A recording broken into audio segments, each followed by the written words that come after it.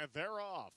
That's the two and seven out campaigning for the lead. 8 1 now, becoming a factor for 5, 6, and 3. They round the turn and off to the backstretch. The two East. Foamy has the lead by a length to seven. Lawton WV is second. Here comes the eight. RCK Andromeda. The one cry Rusty now starting to gather a bit of momentum. Followed by the four Loco Foxdale. They head for home. It's the seven and two with us eight and one now coming on down the stretch. The two has it. 2 1 8 7.